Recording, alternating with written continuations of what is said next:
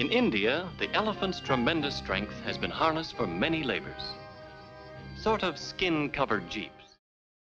That boy, schmat boy, I'm still carrying logs.